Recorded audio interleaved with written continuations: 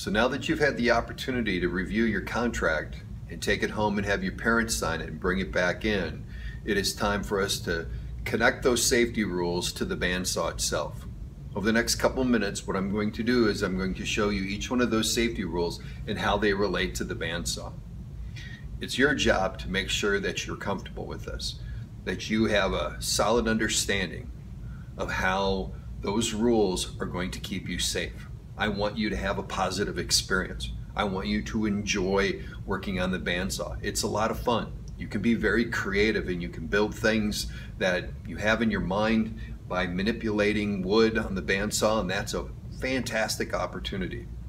But remember when we talked about this before, fear, when it paralyzes you and you can't use it, is a bad thing. But that little voice in the back of your head that's going, uh, you need to pay attention, and if you don't, you're going to get hurt. That little voice called fear, that's a good thing.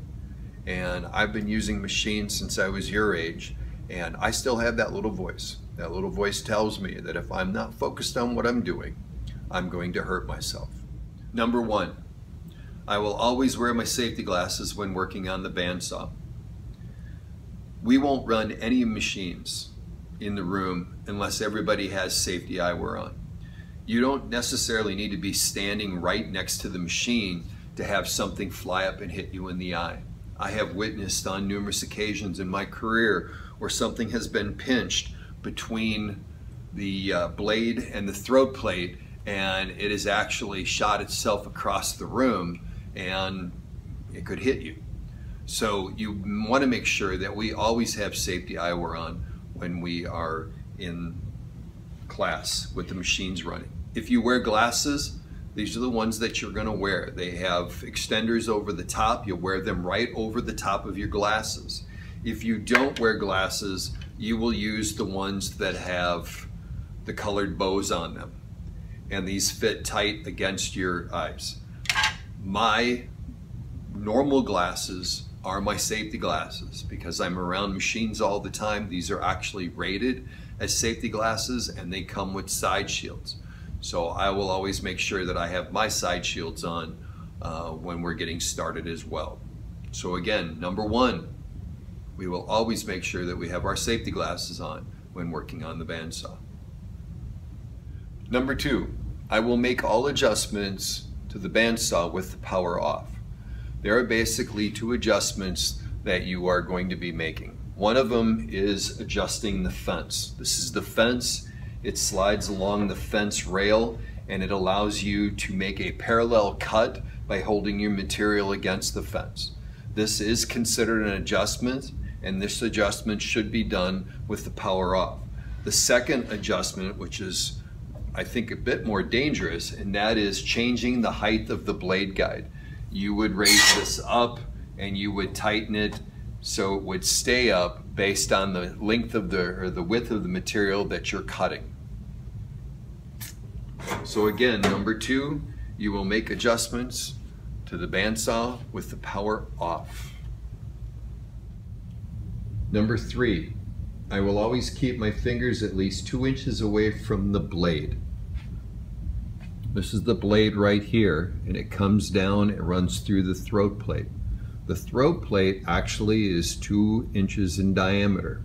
So if you're cutting and you get to the point where you're about to touch that throat plate or you're right over the top of the throat plate, you're closer than two inches you're, matter of fact, one inch away from getting cut. So you want to make sure that you're always aware of the distance between your fingers and the blade. Constantly checking. Where are my fingers at? Where are the blade? Where's my fingers at? Where's the blade? And if you do that, you will not have to worry about getting cut. Number four, I will keep the upper blade guide set at a quarter of an inch above the material that I'm cutting. The upper blade guide is this right here, and it is adjustable. A bandsaw is capable of cutting quite a thick piece of wood, um, but if we're cutting a thin piece of wood like this, we do not want all of that blade exposed because it obviously is a safety hazard. If we keep that blade covered up, now we have a guard in front here that covers the blade up, making it much safer for us. So the safety rule is that we're going to keep the upper blade guide set at a quarter of an inch from the material that we're cutting. And for those of you that have a difficult time visualizing what a quarter of an inch is, it's the diameter of your pencil.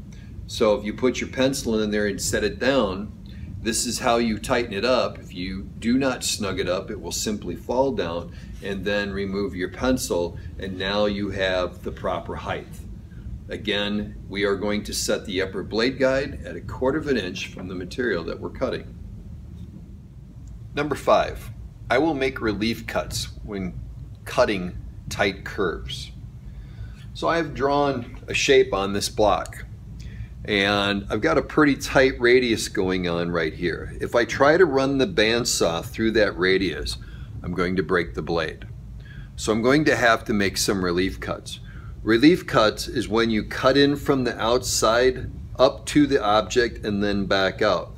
Cut in, back out. Cut in, back out. Cut in, back out. And you will do this multiple times. I'll probably have to come from this angle. So I'm going to cut a series of cuts up to the object and then I'm going to back out. When I'm done, I'm going to come back and then I will be able to cut around and these pieces will fall away. So what I'm going to do right now is I'm going to go ahead and cut some relief cuts and then we'll come back and we will show you how to cut that out. I'm going to trim off some extra first to get it out of the way. It'll make my relief cuts a bit shorter.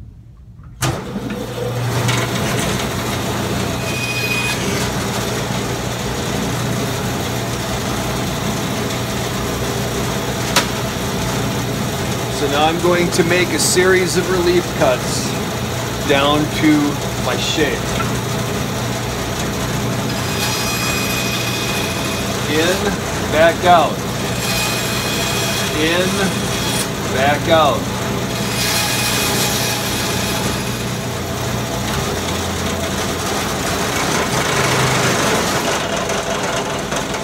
And there we go. We have a series of relief cuts. Now I'm going to come back in from the top here. I'm going to come down and I'm going to cut between the cuts. These pieces will fall away and it will keep the blade from binding. All right, let's go cut these relief cuts.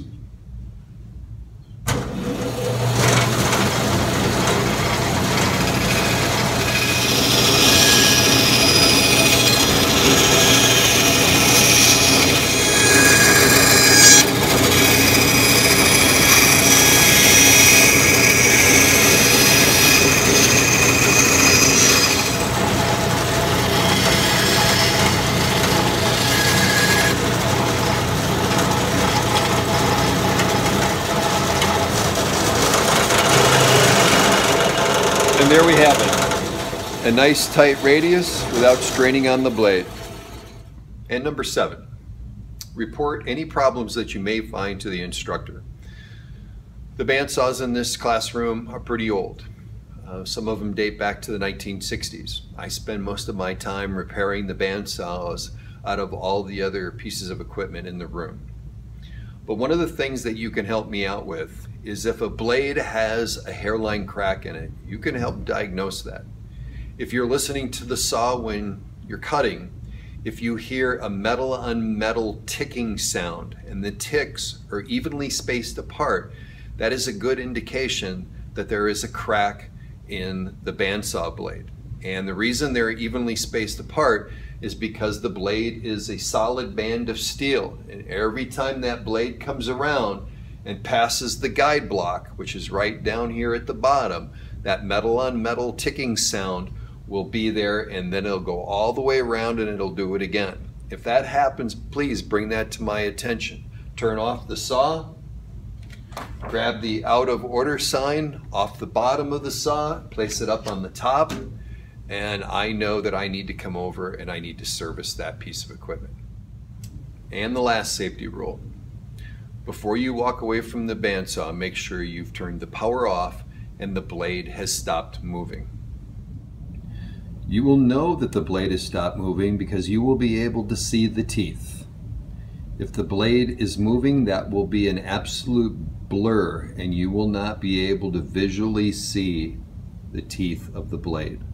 So once again, make sure that you've turned off the power, the blade has stopped moving before you leave the bandsaw. The last thing that you would like to do to help keep your classmates safe is drop the upper blade guide.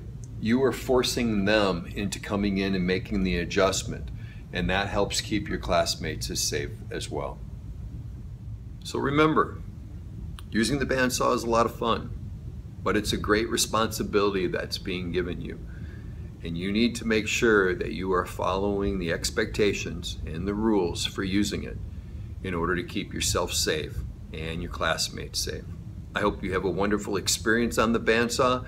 And remember, if you ever have a question or you want just somebody to come stand beside you to make sure that you're doing it correctly, don't hesitate to ask.